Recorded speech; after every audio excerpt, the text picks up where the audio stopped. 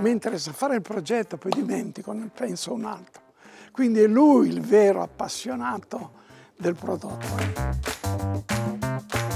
Era talmente segreto il progetto del motore sui cilindri BMW che la BMW chiese che si attrezzasse la sua cantina con la sala motore e questo ingegnere lo realizzò in casa. Questa vettura è nata a Bra sotto le armi questa è una delle mie preferite. Dopo la Nazca questa è una delle mie preferite. Questa macchina qua ha girato solo a Nardò, guidata io e poi un'altra versione, la prima di serie, l'ho usata una, come apripista nella gara storica della Cesana Seste. La Golf nasce con l'intento di fare concorrenza alla 128 Fiat. Ha uno charme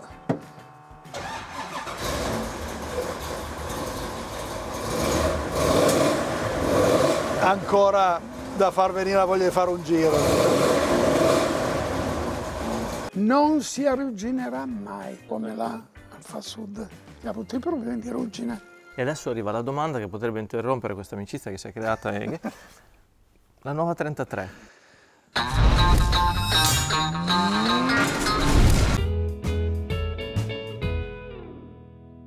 Nell'Olimpo dei designer più famigerati di tutti i tempi svetta Giugiaro un nome rimasto indenne a decenni di evoluzione e turbulenze di un settore, quello dell'automobile, in cui per avere successo disegnare non basta. È necessario infatti comprendere le logiche di questa industria, interpretarne le esigenze produttive e perché no, cercare di far contenti anche chi, queste automobili, alla fine desidera comprarle. E ad oggi, tanto per avere conferma dell'ottimo lavoro svolto, sono oltre 60 milioni i veicoli in giro per il mondo che testimoniano le competenze e la genialità di Giorgetto e Fabrizio Giugiaro, che dal 2015 lavorano ancora insieme con la loro GFG Style, col quartier generale che rimane in una splendida villa Moncalieri e, poco distante da lì, si trova il loro garage, se così vogliamo chiamarlo, un luogo magico dove proprio Giorgetto Giugiaro mi sta aspettando, ignaro che da Bologna io a Moncalieri ci sono arrivato in pandino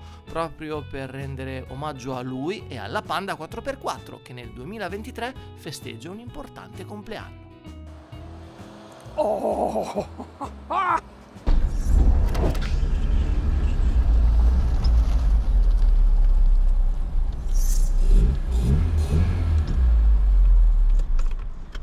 Ma è un colore di oggi, questo. Maestro! Ben arrivato! Bisognava onorare questo giorno in tutti Grazie, i... ma è uscito adesso dalla linea, ha, è perfetto. Ha notato? Ma anche il colore, un colore che si usa adesso. Si può accomodare, eh? anzi no, si no, deve ma, accomodare. No, perché sono tutto malmesso, però oggi posso dire che è la prima volta che lo vedo con i due tettucci. Il doppio tetto è diventato tetto. adesso molto ricercato, prima ovviamente era un qualcosa di... Ma allora, questa è la vettura che io amo di più. Perché?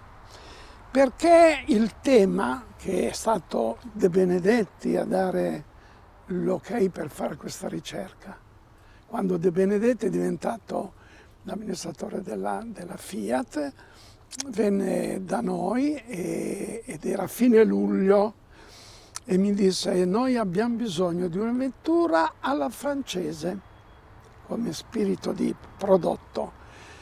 Per cui eh, abbiamo questo motore che dobbiamo utilizzare, vedete voi, e noi gli abbiamo detto, va bene, a settembre inizieremo questa ricerca.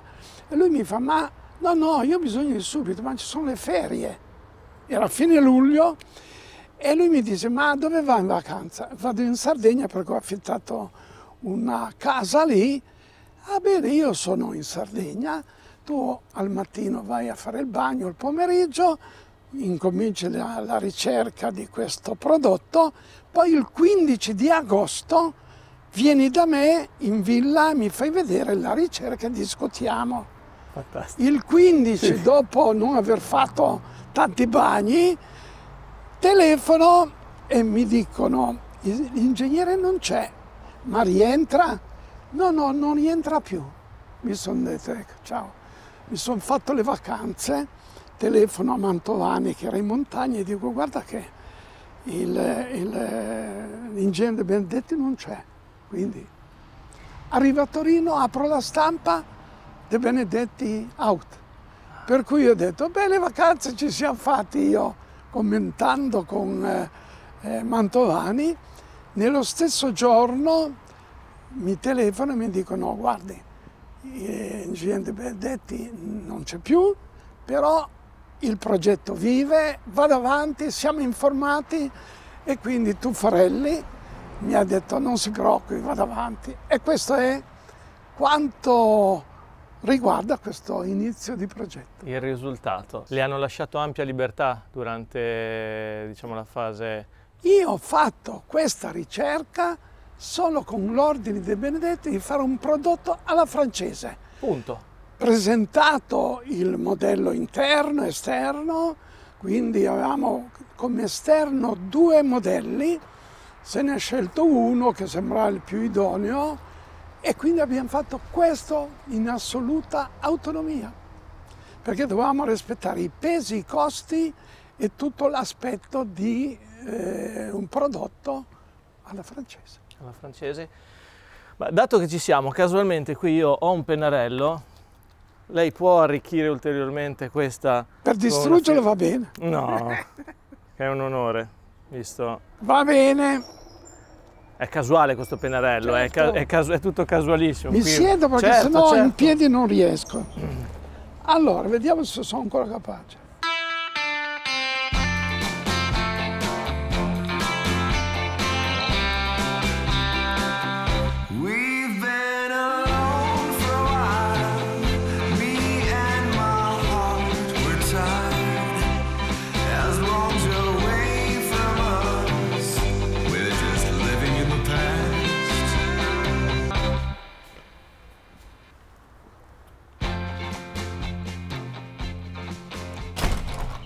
Ah. E il garage. Il garage. Semplifichiamo. Eh, non è solo un garage, questa è... Cioè, sono alcune vetture che abbiamo voluto ricomprarci perché abbiamo venduto la nostra attività e quindi poco alla volta abbiamo riempito, non ci sono tutte, eh. Vetture significative che poi... Eh, Quelle al... che abbiamo deciso più che altro a Fabrizio perché non mi interessa, a me interessa fare il progetto, poi dimentico, ne penso un altro. Quindi è lui il vero appassionato del prodotto. Io posso solo descrivere come ho incominciato. Questa è la 2006 Sprint che è del 1960 come produzione di, di Bertone, una piccola serie, ma il disegno è del 59, quindi parecchi anni, perché nel 60 sono andato dal, alla Bertone come responsabile dopo un esercizio che era solo illustrativo, ma sono stato ingaggiato, assunto da lui per sviluppare questa vettura qui. Quindi questa ovviamente ha una tinta non molto visibile, ma è la vettura che Bertone ha prodotto ed è stata presentata a novembre del 60. E che ricordi ha di questo periodo? Allora, il ricordo è favoloso perché io ho conosciuto Bertone tramite un amico che era responsabile dello stand del salone perché volevo fare delle illustrazioni dei loro prodotti. Io ero impiegato Fiat per guadagnare qualcosa di extra. Per cui eh, questo mio amico mi presenta Bertone, Bertone mi chiede cosa fai tu alla Fiat e gli ho spiegato che cosa. E ho anche richiesto di fare dei bozzetti per guadagnare qualcosa. E lui mi dice portami a vedere qualcosa, gli ho fatto vedere diversi bozzetti, poi lui mi incarica di fare un, uno studio più, più concreto, meno avveniristico e io ho ricevuto un, lo schema di questo telaio e ho fatto questo esercizio. Lui non mi dice nulla, mi dice, beh, la prossima settimana ti dico se ti do del lavoro, eccetera. Mi chiama dopo questa settimana e mi dice, i tuoi bozzetti vanno bene, però io li ho presentati all'Alfa Romeo all'Alfa Romeo. Ma io ho fatto un esercizio per farle capire che cosa fare. Se vengono a sapere una cosa del genere mi licenziano. Fa no, no, no, no, guarda, io devo fare questa vettura. Tu vieni di sera, ma eh, ragioniere, ma io sono piegato via, non posso fare una cosa del genere. Ma quanto guadagni? Così come glielo sto dicendo adesso. Io mi ricordo era 80.000 lire al mese e lui subito mi fa, ma io te ne do 120, quindi il 50% in più, però vieni da me e così sviluppi questa vettura che era di interesse mio, ma è di interesse dell'Alfa Romeo, affinché io produca queste piccole serie di vetture. Così ho fatto licenziato di tronco. Ma qual è stata la molla per cui mi sono licenziato? Perché dopo avergli detto che era interessante l'offerta, gli disse ma io non posso venire perché a marzo, era novembre, a marzo devo fare il militare. E lui mi disse ma se vieni da me il militare non te lo faccio fare perché ho diverse mh, conoscenze per cui posso evitarti il militare. E questa è stata la molla per andare da Bertone. A marzo arriva la cartolina. Gli dico ragioniere, ma lei mi ha promesso che non avrei fatto il militare. Eh, va bene, però io ho già predisposto che vai negli alpini. Io ero destinata all'aeronautica perché nella selezione ho fatto dei disegni riguardo agli aerei, alla portanza, aspetti tecnici.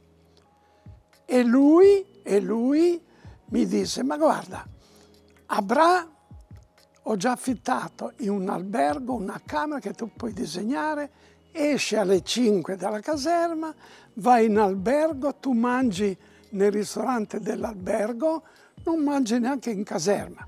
Poi ovviamente alle 10 rientri. E questo è quello che lui mi ha prospettato, cosa che è avvenuta. Sono andato a fare il militare a Bra e a Bra ho fatto quella vettura lì la Giulia GT. Questa vettura sotto le è armi. nata a Bra sotto le armi. Quindi io disegnavo in questa camera d'albergo di Bra e quindi questa come progetto è nata a Bra. Poi quando è finito il CAR sono andata a Torino, avevo i permessi per cui ho seguito il progetto fino alla sua realizzazione. Gliel'avranno chiesto in... Uh tantissimi, io non gliel'ho mai chiesto perché stiamo parlando ora. Questo. Allora. Lo scalino. Chiaro, allora. Perché adesso lo scalino allora, è una religione. Nel, nel gradino ci sono due aspetti. Intanto era una piccola presa d'aria, era un po' più alta di qualche millimetro, ma aveva due scopi. Il fatto di non avere riferimento anche se era un po' più di 2 mm, non perdeva l'aspetto della eh, sua misura, no? Certo. Ma era una presa d'aria. Funzionale. Funzionale. Poi alla fine non è stato più funzionale, è un motivo. È un motivo. Che però adesso è il, uno dei motivi per acquistare quest'auto. Non lo so, un capriccio ma era un motivo di un ingresso d'aria. Che è diventato un capolavoro. Sì. Un Alfa invece che ha sicuramente segnato una parte della sua vita, magari non di successo come questa, ma sicuramente sfidante. Quale? La Sud. L'Alfa Sud. Allora, l'Alfa Sud bisogna capire come nasce il prodotto. Innanzitutto l'ingegner Rusca che conoscevo, tramite il periodo di Bertone, eccetera, viene eh, da noi per fare una richiesta. Fa, io ho bisogno di un progetto, di una vettura che deve avere queste misure, più o meno carreggiata, lunghezza massima, passo, e naturalmente noi facciamo le domande, dico ma in che fabbrica, che attrezzature, e lui era in imbarazzo a dire che cos'era. In buona sostanza ci dette delle informazioni graficamente. Lui su un foglio a quadretti metteva lo sbalzo dal centro ruota al punto di lunghezza, dal centro ruota alla pedaliera e così la lunghezza massima. Per dire io ho bisogno, ho bisogno di un prodotto che abbia queste caratteristiche. E noi guardando questo tipo di misure ci siamo detti ma si avvicina a 124 Fiat come riferimento e lui non ha detto niente. Comunque, lui alle nostre domande non ci disse che era un Alfa Romeo, non ci disse che non c'era neanche lo stabilimento, perché Mantovani, che è l'uomo che si occupa della parte viva del progetto, ma che fabbrica è? Come è attrezzata la fabbrica? Dov'è la fabbrica?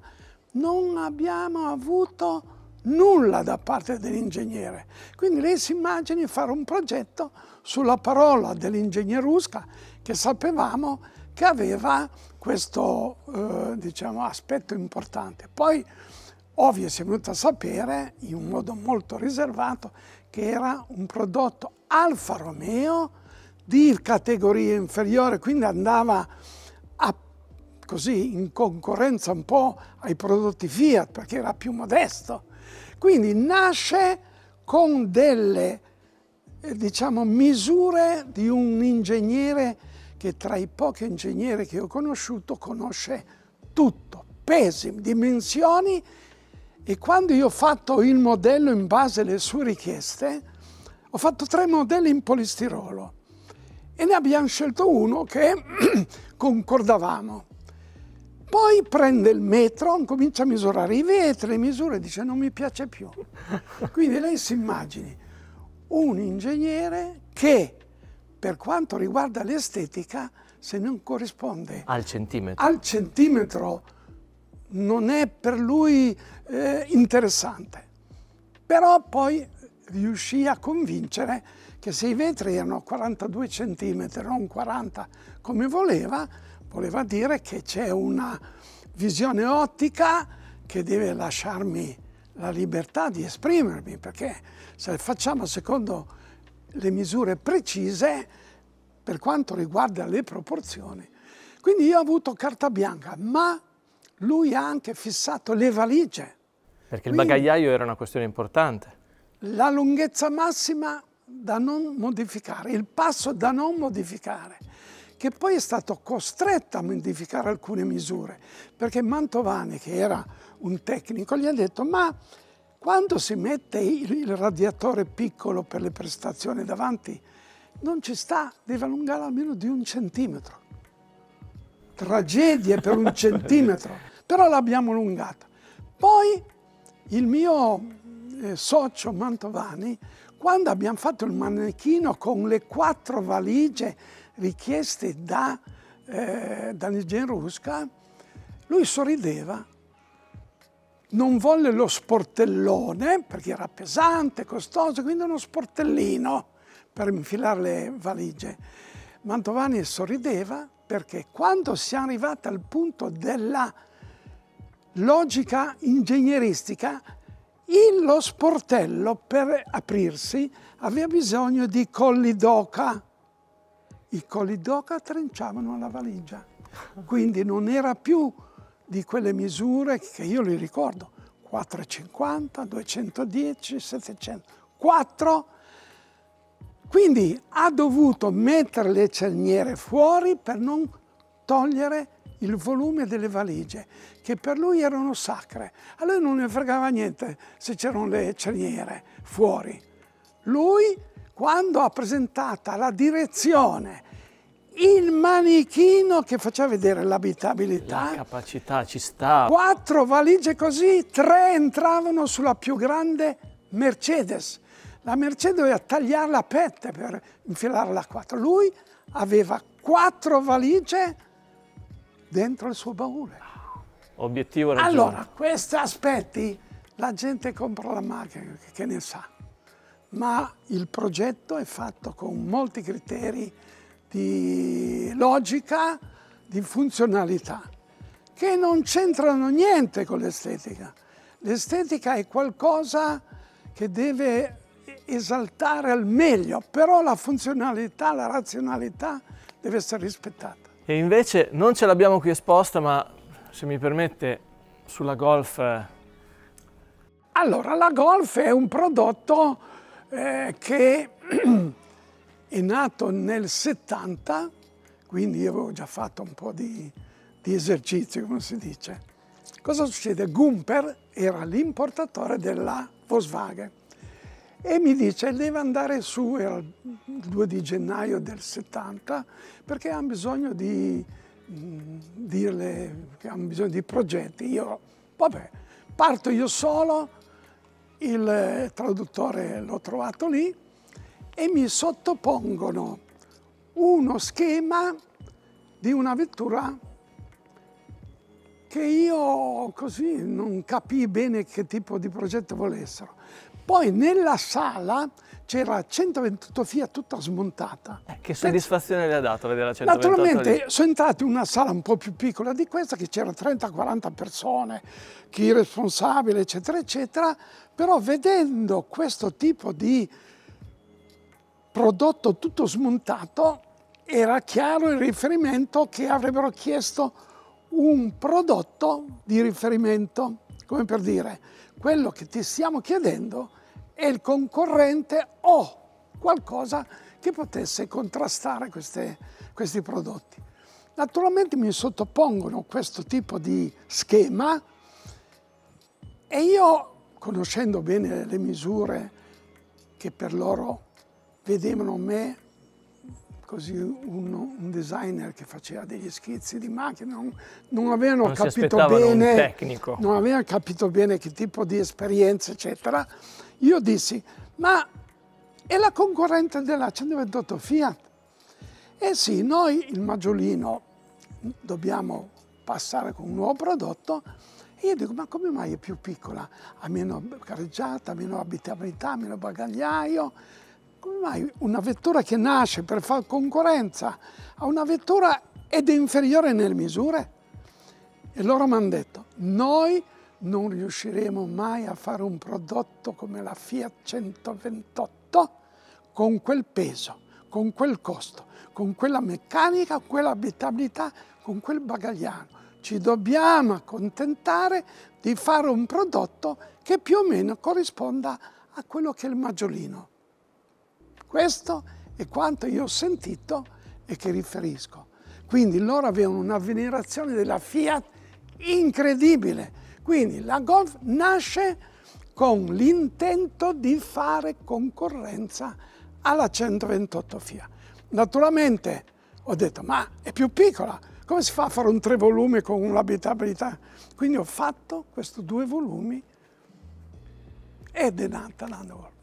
La questione prezzo, chiedo scusa, è che l'ha eh, vagamente citata adesso con la Golf e poi l'ha citata anche con l'Alfa Sud. Quanto il prezzo influenzava la sua fantasia, la sua creatività a livello operativo in un progetto? Allora, per fare questo tipo di professione devi avere anche informazioni su quelli che sono i pesi, su quelle che sono le difficoltà di certi disegni nella composizione della carrozzeria. Allora il mio successo è essere diventare un po' ingegnere, capire come si fa oggi per risparmiare la composizione. Qui avete di fronte una vettura fatta da un carrozziere, non a un grande industria automobilistica che fa milioni di prodotti.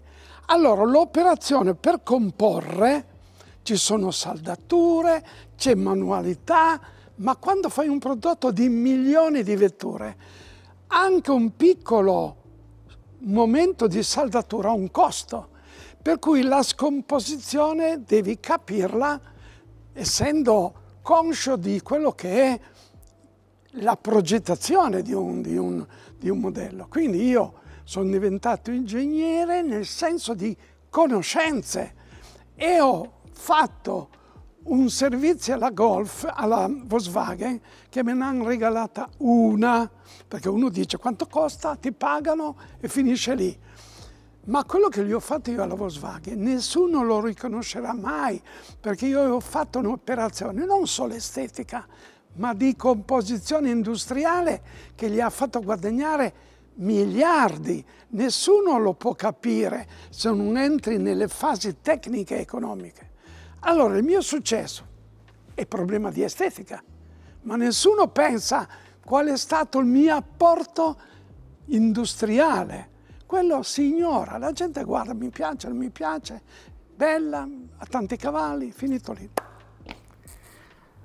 Industrialmente però qui c'è un'altra auto che io da appassionato di cinema stimo per tanti motivi, poi so che meccanicamente ha avuto qualche ok, eh, che ogni mese a livello di produzione aggiornavano qualcosa, questa è la versione ad esempio, tappo qui, le antenne hanno cambiato, le lette parasole, le infiltrazioni, so.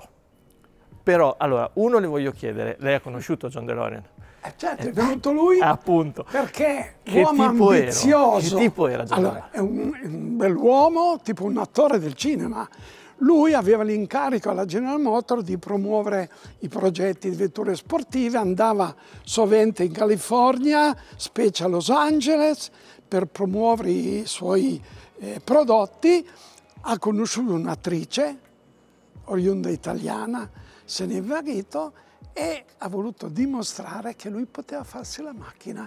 E così un uomo ambizioso ha deciso di farsi la vettura sperando di trovare facilmente finanziatori, eccetera, eccetera. Poi è iniziato il suo calvario, perché fare un progetto di una vettura è facile, però per industrializzarla, per trovare tutta un'organizzazione, per produrla, dove, con che investimenti. Con che componenti che venivano da paesi con logiche industriali allora, diverse? Io ho iniziato nel 1955 a capire cos'è l'industria automobilistica. Quindi ne ho viste di tutti i colori, gente che è fallita, gente che si è illusa e quindi questo grande eh, manager della General Motors ha iniziato il suo calvario nella ricerca dove farla, con che finanziamenti, con che... Partner eh, E quindi ho seguito tutto il suo iter e poi una volta fatto il prodotto eh, noi ce lo siamo dimenticati, noi fai un prodotto, poi ne penso un altro, che me ne frega. Io però, se posso, sì? non mi dimentico di questa soluzione che lei ha suggerito. Perché qual è il problema? Qual era il problema? Cioè, perché questa soluzione... In acciaio? Eh. Allora, quando uno deve fare un prodotto che ha bisogno di strutture, di eh, attrezzature, ma se ne immagina quanto costa un'organizzazione di verniciatura per i prodotti? Lui nel cercare finanziamenti qualcuno gli ha suggerito che se non la vernicia risparmia. eh, ma non la vernicia, deve utilizzare l'acciaio inossidabile. Così è stato fatto con tutte le complicanze di, dell'acciaio inossidabile, perché i giochi, tutto quello che riguarda un prodotto che non puoi né discarlo né con lo stagno per lo verniciatore, deve essere tutto perfetto ma i giochi, li vede, sono più grandi. La qualità del prodotto non è la qualità che osserviamo adesso come le vetture eh, tedesche, sono tutte perfette. Quindi lui ha risparmiato a livello di verniciatura lui, a discapito? Allora, lui ha nella scelta del comitato, perché non si fa una macchina da solo, hai bisogno di tecnici, di esperti che raccoglie a destra e a sinistra, ha deciso di farlo in acciaio inossidabile con tutte le complicanze di chi non ha mai fatto un prodotto in acciaio. Nel mondo nessun brand ha mai fatto acciaio inossidabile. Certo, risparmi sulla verniciatura, però se lo bolli, cazzo, a, a, a ripararlo sono dolori. Comunque è nata con questa sua eh, livrea mh, mm, importante, abbiamo dovuto mettere un bordo di protezione perché non è che sia esteticamente molto bello, però serve per proteggere quando apri la porta, se qualcuno ti striscia, una cosa molto delicata. Questo è un miracolo aver fatto una vettura in acciaio inossidabile. non si arrugginerà mai. Su questo tranquilli. la Alfa Sud che ha avuto i problemi di ruggine.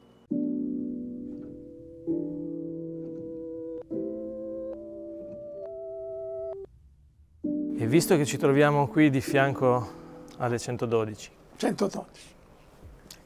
che, Nasce- stimoli, che stimoli le hanno dato o che... Allora, è chiaro che nessuno conosce come nascono le cose. Nasce la Bugatti a motore posteriore, di cui noi non abbiamo avuto l'incarico se non di fare una proposta, ma ormai era già avviata. Arriva il Salone di Torino e io decido di fare un prodotto per attirare dei clienti su quelle che sono le nostre abilità.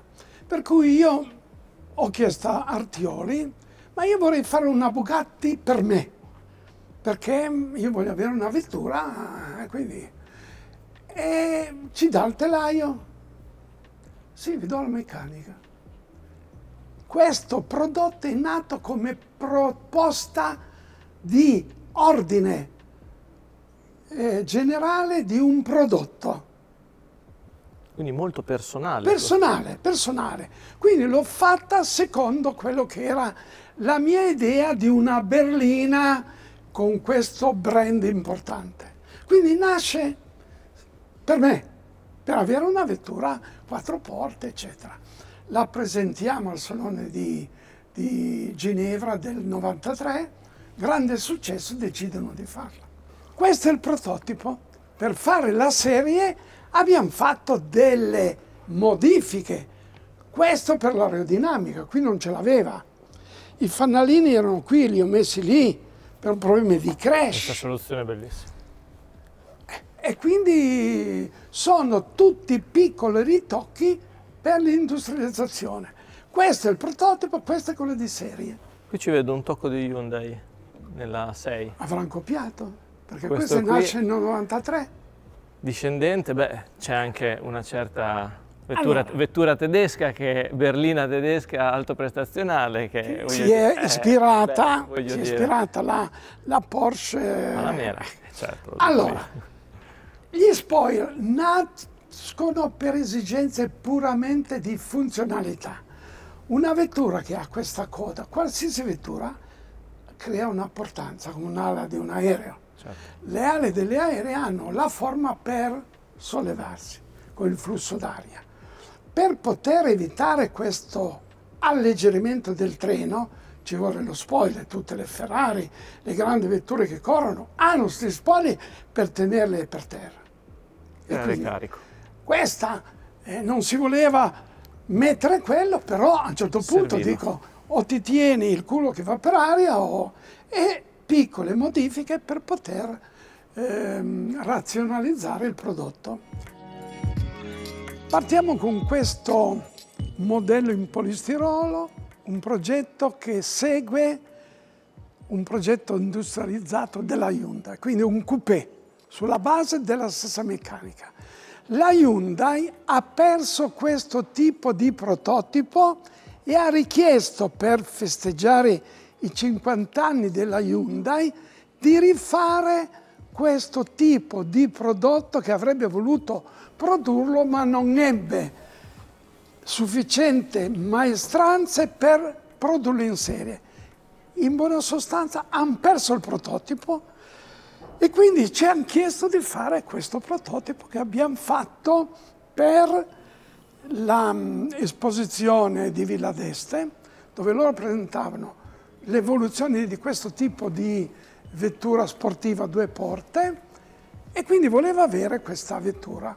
Abbiamo fatto il disegno, il manichino per poter costruire questo tipo di vettura. Ovvio, è difficile leggere una vettura in bianco, bisogna vedere le foto del prodotto che a distanza di 50 anni è ancora abbastanza piacevole. Lì c'è il disegno che abbiamo dovuto rifare della, della vettura, quindi ci ha chiesto, e per fortuna che io ho ancora i disegni, tutti i disegni di allora, con delle varianti. Qui era uno degli studi con il paraurto, poi il paraurto si è ridotto solo a, a un piccolo accenno. Quindi tutto il disegno, il manichino, perché abbiamo, fatto, abbiamo dovuto rifare l'interno con un cruscotto ancora valido da un punto di vista estetico e questa è la nostra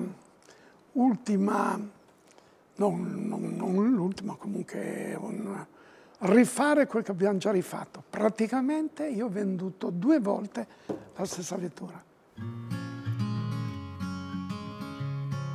Trascorrere un'intera mattinata con Giorgetto ti lascia senza parole, ma con tante altre domande in realtà che non gli hai fatto e che dopo averlo conosciuto gli avresti voluto e dovuto fare, anche perché lui di ogni suo progetto ricorda ogni dettaglio. Così quando si è seduto per illustrarci, letteralmente illustrarci un aneddoto della sua panda, beh, quasi mi sono commosso. E nonostante questa dedizione, questo metodo, questa memoria, questa tenacia, i suoi interessi sono ben altri rispetto all'automobile, come ormai è arcinoto. Dall'arte, imparata dal nonno e dal papà, fino al trial. Esatto, Giorgetto, appena può, torna nella sua Garestio, salta sulla sua moto da trial e via disterrato in compagnia di amici consapevole però che tutto il suo talento, i suoi obiettivi sono nelle mani anche di Fabrizio, classe 1965, che oltre ad aver firmato auto formidabili, a differenza del papà, lui le supersportive le ama davvero e non a caso le sue creazioni sono sovente assai veloci basse e filanti. Ciao Andrea, sei incuriosito da questa prima mia macchina? Buongiorno. benvenuto. La benvenuto. mia giornata epica ed emozionante sta continuando. Sì, è un caso che io ti stessi aspettando proprio qui, no, non lo è affatto perché eh, da quello che ho capito la disposizione delle macchine eh, ha, un, non è... ha un po' di senso, soprattutto queste due qua sono all'ingresso perché la mia prima che ho fatto nel 1990-91 è quella di mio padre che è diciamo degli inizi anni 60, quindi le, mie, le nostre prime due vetture sono qua. E perché di fatto tu hai iniziato a lavorare con, uh, con mio padre? padre? Non so dire esattamente quando, perché da quando sono piccolo che da quando ero piccolo ho cominciato a pasticciare e poi nel 1990 mio padre aveva talmente tanto lavoro che nonostante io avessi solo 25 anni mi disse ma non c'ho tempo, falla tu. E quindi diciamo che ho cominciato ufficialmente nel 90 e nel 91 l'ho presentata, c'ha già più di 20, 33 anni questa vettura. Questo è un progetto eh, sfidante, nel senso che qui c'era da rendere giustizia allo stile ovviamente, stiamo parlando con te, eh, ma anche al motore, perché anche il motore, sì. che tra l'altro è a vista... È... Sì, io, io beh, lavoravo molto con BMW, ero molto affascinato da questo motore particolarmente disegnato bene. Ho conosciuto l'ingegnere che lo costruì, un aneddoto pazzesco, lo costruì, lo costruì, in casa. Era talmente segreto il progetto del motore sui cilindri BMW che la BMW chiese che si attrezzasse la sua cantina con la sala motore e questo ingegnere eh, lo realizzò in casa.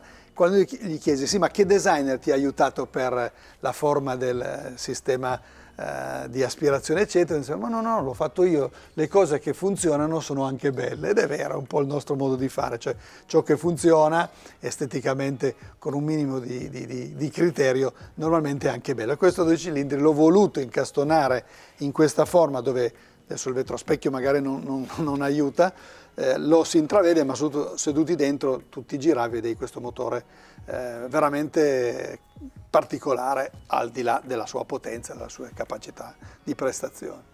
Perché poi la NASCA è famosa anche per l'utilizzo del carbonio. Sì, è stato il primo progetto che abbiamo affrontato allora in azienda completamente in carbonio. Nel vero senso della parola c'è un'immagine divertente di io e mio padre che teniamo il telaio in mano, pesava non più di 35 kg, 40 kg, ed è stata la prima vettura GT per la strada col monoscocca in carbonio dove addirittura davanti le sospensioni erano incollate direttamente al, al, telaio e non aveva tralicci eh, se non quello posteriore perché il motore non era autoportante quindi abbiamo dovuto creare un traliccio posteriore per tenere e poi anche per questione di crash. Però prima di tutto il, il telaio, un grandissimo esperimento, ne ha fatti poi tantissimi derivati da questo e poi la carrozzeria che ha un vantaggio il carbonio in un pezzo solo, come vediamo qua, non ha tagli, con un taglio solo separa porte e cofano, quindi sembra impossibile che questo si apra, ma si apre e oltretutto è un enorme bagagliaio. A proposito di apertura, me sì. la ricordo piuttosto spettacolare. Sì, eh, questo è un giochetto che non ha un senso, eh, diciamo, estetico, non è stato fatto per spettacolarizzare l'ingresso, ma perché è talmente bassa, la macchina è un metro eh, poco più di un metro di altezza. Mi avrei... posso sedere? Certo, certo, sarebbe, ne sarebbe, sarebbe impossibile entrare e questo è stato solo un giochetto per riuscire a entrare meglio su una macchina super super tirata, quindi è veramente basso, hai il punto H, diciamo il sedere a 140 mm da terra, veramente bassa, bassa, bassa. Oggi si fa anche di peggio, però stiamo parlando del 1990 eh, ed era l'evoluzione per me della BMW M1, in accordo con BMW doveva essere prodotta per sostituire eh, la BMW M1 che fu l'unica realizzata e costruita da mio padre in azienda, in realtà nel 91 cosa, cosa, è successo? La crisi del supercar per via della guerra del Golfo. E non siamo stati fortunati, ma ne ho fatte per fine tre per tre collezionisti, quindi ne esistono tre, di cui più questa che l'originale. Quindi proprio, ci sono i rimandi Come... cla classici, questo è il climatizzatore sì. delle 36, il computer di bordo delle esatto. 36, i tastini. Per dimostrare sì, sì. a BMW che si poteva fare con la loro componentistica c'è tutto la componente, tranne radio, che è una radio JVC che avevamo sì, disegnato sì. loro, noi avevamo disegnato Questi di solito sulle 36 sono invece, questo è sotto al esatto, clima, esatto. me lo ricordo qui. Esatto, e in più quando facevo vedere a BMW, ho fatto dei test con loro, e la loro Foncune che anche esternamente ha i, fanali della Z1 e poi mi dice sì però la freccia no, non è vero, la freccia è della Moto GS BMW GS80. Ah sì, sì. quindi tutta la componentistica BMW eh, oltre ovviamente il motore. È stata la prima ad avere delle cose un po' particolari anche a livello Bassissimo. meccanico e quindi aveva l'ABS, aveva l'anti-skid e un sistema per cambiare l'assetto da bagnato a, a, a strada eh, diciamo asciutta. asciutta. L'abbiamo sperimentato poi, siccome allora ovviamente dovevi proprio cliccare, il pericolo fosse che sbagli, non c'erano i sensori, oggi lo puoi fare automaticamente. Quindi l'abbiamo poi chiaro. eliminato, ma cambiava assetto in modo che anche sul bagnato avesse una, una tenuta particolare. E anche le maniglie, la mia maniglia era della B850, quindi tutto fatto attraverso... La cosa divertente di questo progetto è che, come dicevo, è nato perché mio padre non aveva tempo, ho detto no, questa volta il prototipo del salone fallo tu, ormai eh, dopo tanti anni di training eh, ho cominciato in realtà appunto metà anni 80 con mio padre, eh, io avevo eh, gli ingegneri tedeschi BMW che facevano riunione con me una volta ogni 15 giorni, quindi c'era una sala con 15 ingegneri BMW e io ero lì, avevo 25-24 anni, mio padre apriva la porta e a me che diceva tu fai questo, tu fai questo, tu fai questo, e questi mi davano retta, hanno fatto la vettura tecnicamente ineccepibile perché comunque allora non era uscita neanche la BMW 850 da cui è derivato il motore, il motore ancora oggi non era un motore di serie, era ancora una preserie era talmente, anticipava talmente anche i loro eh, prodotti che quel motore lì c'è ancora scritto da qualche parte prototype, era ancora un prototipo, ma ci ho fatto 50.000 km. Ah però? Mm, sì, sì, sì, sì. Proseguiamo eh, perché così, mi permetto, eh, certo. pare che a Fabrizio Giaro piacciono le super sportive. Ma, sì, almeno, almeno, in quest'angolo posso permettermi. sì, qui okay. c'è un po' di esempi. C'è un po'. C'è anche una vettura che è nata appena dopo, che è la Shighera, qui la vediamo sì. in versione diciamo taroccata. Non come ci possiamo se fosse da, da, No, questa no, esiste poi quella vera che ce l'ha un collezionista svizzera. Qui era l'idea, oggi è molto in voga, di riportare in auge la famosa Alfa Romeo 33. Eh, Qui la storia, se l'è, attuale, ecco, la storia se l'è un po' dimenticata che io nel 93 93 o 94, non mi ricordo bene, ho fatto un esercizio, allora il CEO della, della Fiat e anche della Romeo era, eh, adesso mi sfugge il nome, che mi obbligò a fare questa macchina a trazione o anteriore o integrale. Ho detto, ma ingegnere anteriore... Ehm, perché la Romeo switchava tutto sull'anteriore. Eh beh, erano gli anni della 155. E quindi mi sono complicato certo. la vita perché io seguo anche tecnicamente i progetti non solo, di stile parlo sempre un po' poco ma mi sono divertito perché l'ho resa quattro tremotrici mettendo il motore Ulan in, in centro, quindi una distribuzione di pesi fantastica e quindi abbiamo, ho voluto eh, ri, rispolverare, eh, oggi e in augi, ma 30 mm, anni fa no, la 33 famosa, di cui ha, delle, ha molte diciamo, punti cui in cui in comune no? questa forma con la coda alta, l'1.8 ha moltissime cose riprese dall'idea della 33 che aerodinamicamente era fantastica, ma abbiamo ehm, inserito aerodinamica estrema sull'anteriore con queste ali che poi Mercedes ha realizzato qualche anno dopo, eh, quindi l'aerodinamica anteriore, e lateralmente la versione, non chiamiamola da corsa, aveva dei flabelli, ho chiamato flabelli, che si aprivano e si chiudevano a seconda della velocità perché i radiatori erano posteriori, quindi tutto il gruppo meccanico, radiatori compresi, erano dietro, erano dietro. E adesso arriva la domanda che potrebbe interrompere questa amicizia che si è creata, la nuova 33.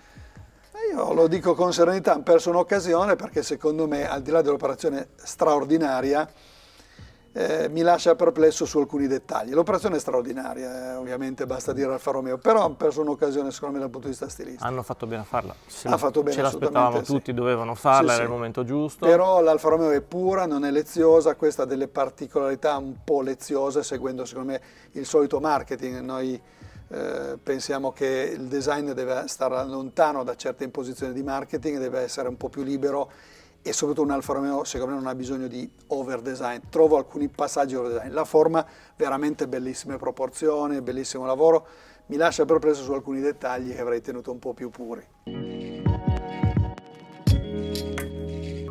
Allora, la differenza grossa tra me e mio padre, per esempio. Lui va a progetto, da quello che ho capito. Comunque. Lui è il piacere di disegnare se gli fai disegnare la panda, se gli fai disegnare la panda o, o, o, una pasta, non posso dire che ha quasi lo stesso piacere, ma siamo lì. Io invece, che sono molto attratto dall'auto, la prima cosa che penso è quando potrò guidarla.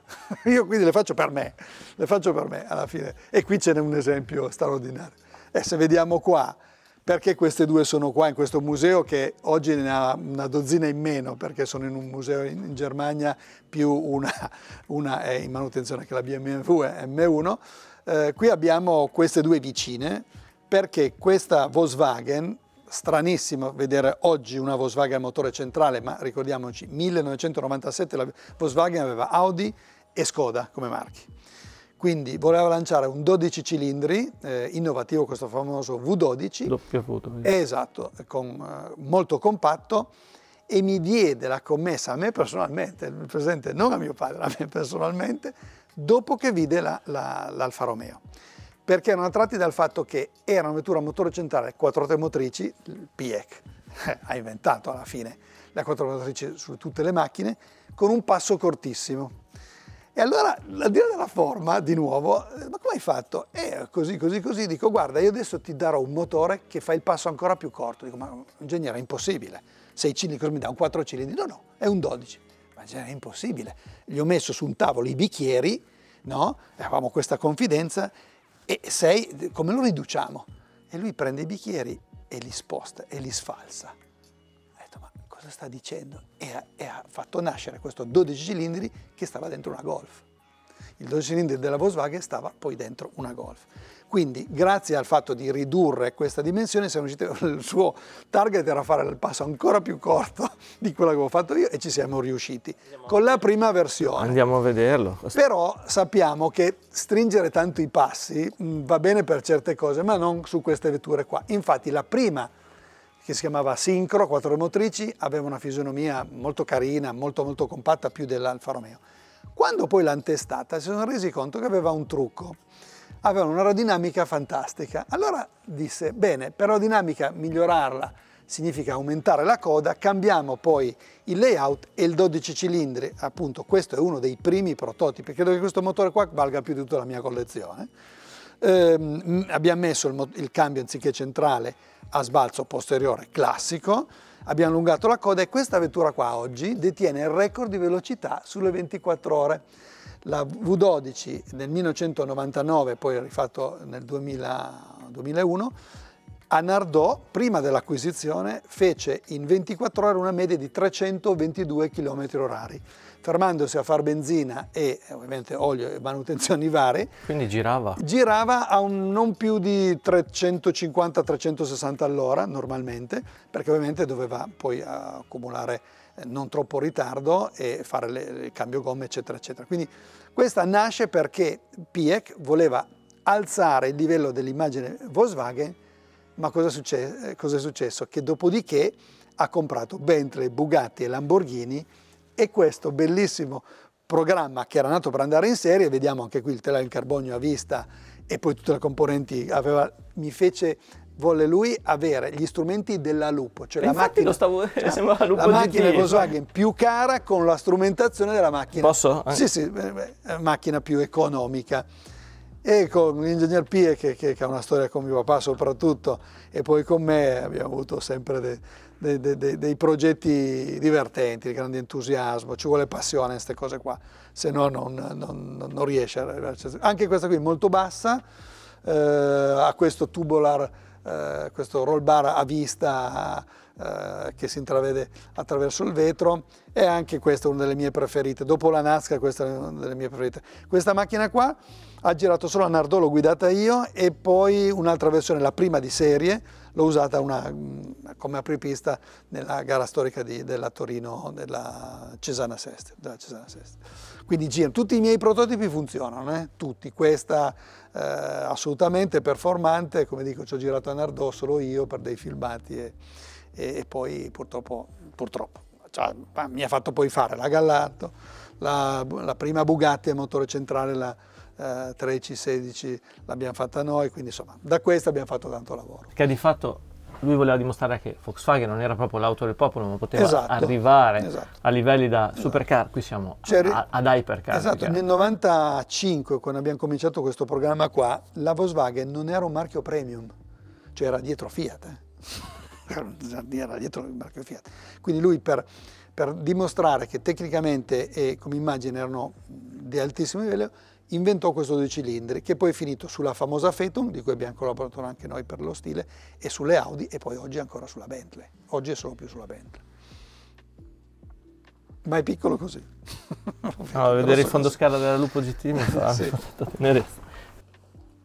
quindi poi se parliamo di linea vabbè la linea per me naturale che le macchine debbano venire bene era molto, molto pura no? quindi i fanali della Golf, la prima va proprio i fanali della Golf con, una, con un taglio diverso, la mascherina, ovvio, stiamo parlando oggi, le macchine sono complicatissime, questi erano ancora gli anni in cui, posso dire, la purezza diciamo, contava. Oggi il marketing ti obbliga a fare delle cose secondo me molto discutibili, le macchine le vendono bene quindi non, sto a dire, però qua c'è proprio, eh, sembra disegnata proprio il flusso. Poi ha una caratteristica questa, ha tutti gli elementi Volkswagen, quindi aveva i fanali derivazione della Golf, la calandra eh, che allora eh, era fatta così Volkswagen e poi questa forma, no? questa forma della Beetle, la Beetle.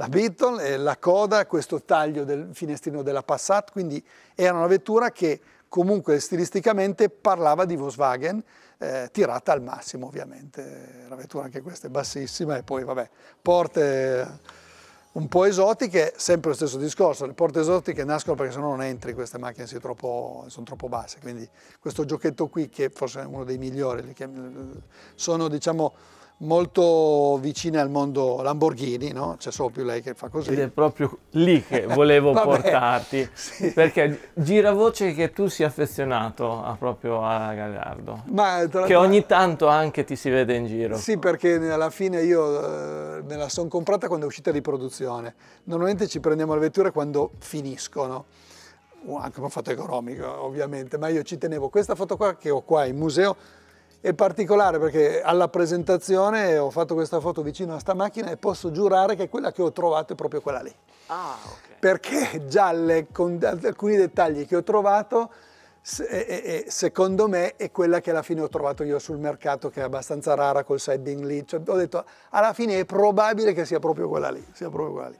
E quindi l'ho presa qualche anno fa quando è uscita di produzione. È stata una Lamborghini più prodotta, fino ovviamente all'Urus, che, che poi è un'altra cosa, però eh, ci ho lavorato tanto, ho fatto l'interno anche e l'esterno, guidato sempre da Ingegner Piek.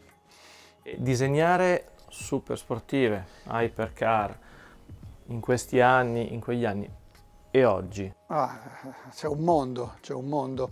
Eh, ho fatto le ultime supercar recentemente per un marchio nuovo che è la Fit, il nipote di, di Jacques, che mi ha dato una fiducia pari a quella di Ingegner Piek quindi abbiamo fatto una supercar ancora più avanti che non avevo mai fatto.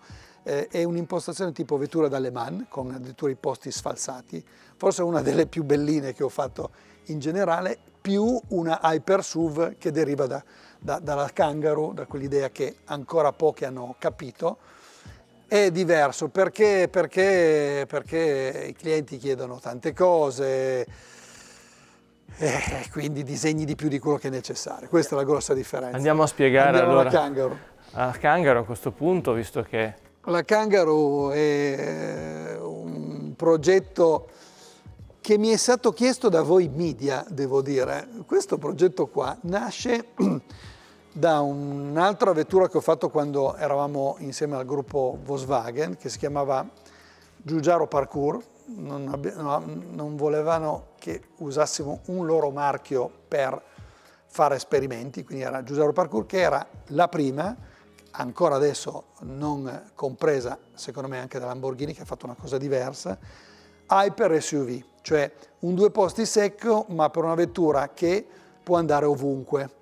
Io appassionato di fuoristrada, ho fatto qualche rally in Africa, eccetera, ma di vetture appunto sportive, mi ero immaginato col motore Lamborghini, meccanica Lamborghini, questa parkour eh, per tutti i terreni. E Piac l'aveva capita, infatti mi fece una critica divertente. Quando la vide, che era spettacolare, porte, vabbè, tutto quel che vogliamo, mi disse, bella macchina, c'è solo un errore, il marchio. E dico, ma come il marchio?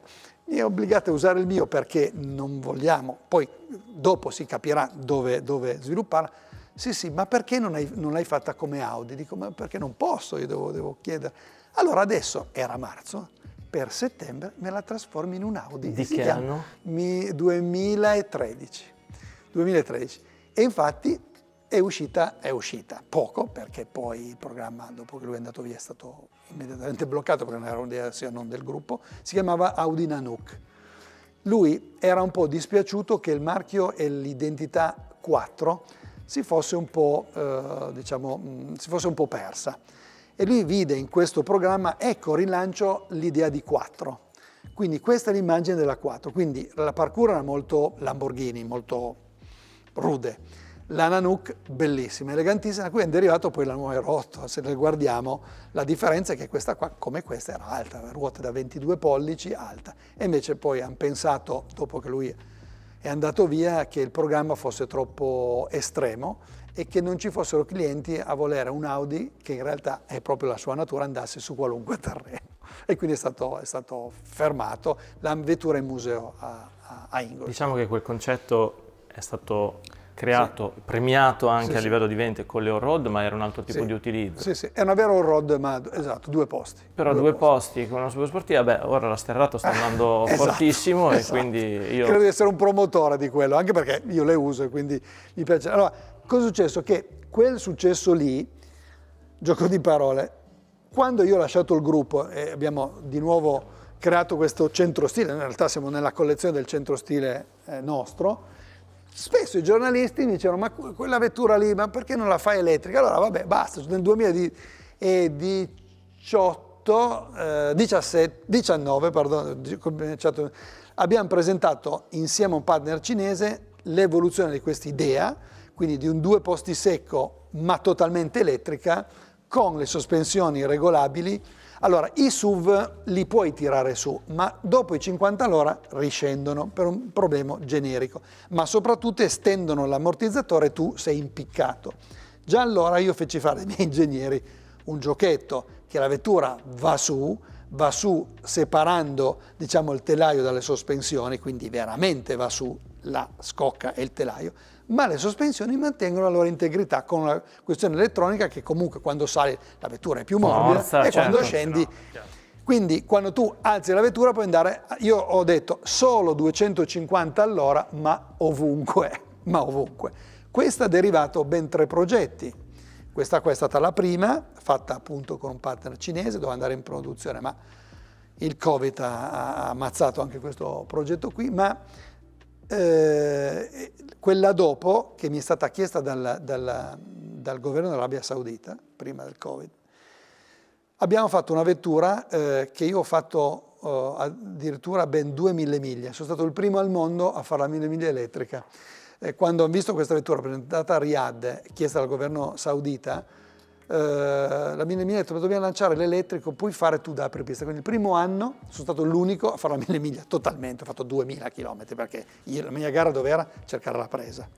Sembra una cosa stupida, hanno, ma hanno... Eh, era il 2019. Sì di, pardon, 2020, 2020 pardon, colonnine comunque sem- non bastano mai. Eh, eh, allora era raro, adesso c'è l'esplosione, ma veramente sembra che tre anni fa siano 30 anni fa, io facevo fatica a trovare le colonnine, grazie a lei nel, uh, che mi guidava via radio dove arrivare, eccetera, ho fatto, riuscito a fare la mia completamente.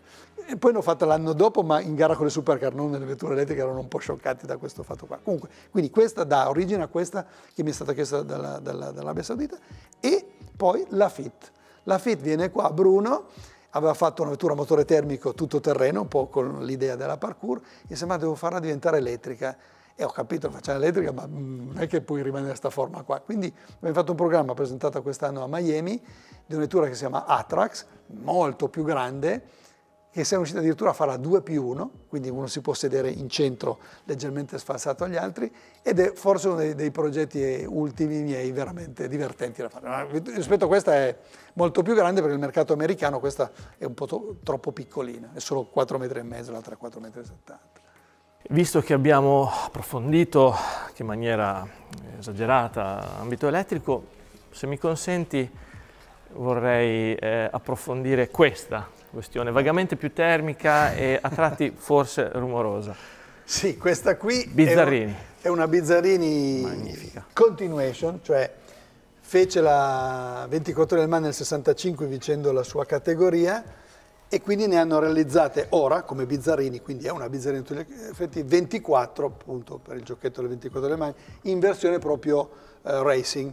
La carrozzeria è totalmente in carbonio e la forma è una forma veramente forse una delle più belle di mio padre. Bizzarrini super. adesso è un marchio sì. che appartiene? Appartiene a un ex proprietario della, dell'Aston Martin che ha venduto le sue quote, con quelle quote ha fondato la nuova Bizzarrini di cui stiamo facendo un nuovo progetto, quindi questa la stanno realizzando i 24 pezzi proprio lì, ma la futura che uscirà nel 2025 è una vettura ancora più estrema, è già stata pubblicata adesso, che ha ovviamente molta, uh, molto di questa vettura qua, anche se il motore è centrale posteriore, mentre questo è il centrale anteriore.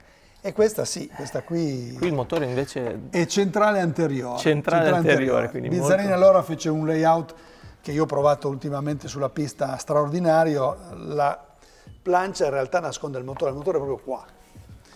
Ma la particolarità è che questo motore che, udite, udite, certamente rispetto a Ferrari ha meno charme. Ce la stai per caso accendendo? Devo dire che ha uno charme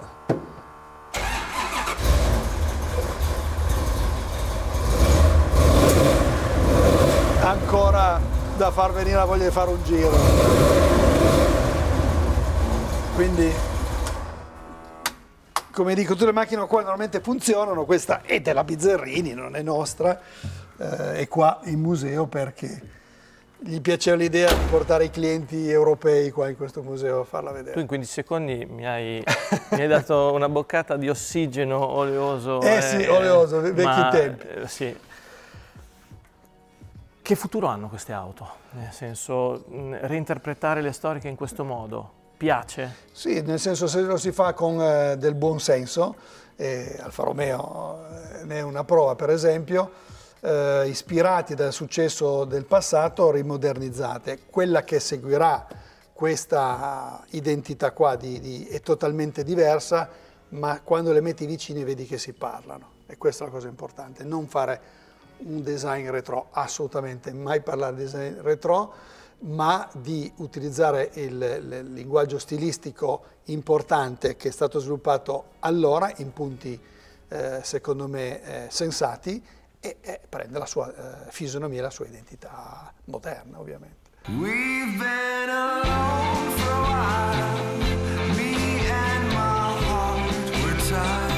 Ammettiamo che vedere un padre e un figlio così legati anche professionalmente fa davvero bene al cuore, soprattutto se pensiamo che i loro progetti continuano a suscitare l'interesse dei più noti brand internazionali anche al di fuori del settore automotive. E questa realtà tutta italiana deve renderci orgogliosi, perché se oggi il Made in Italy è a modo suo un brand, beh, una parte del merito va anche alla matita dei Giugiari.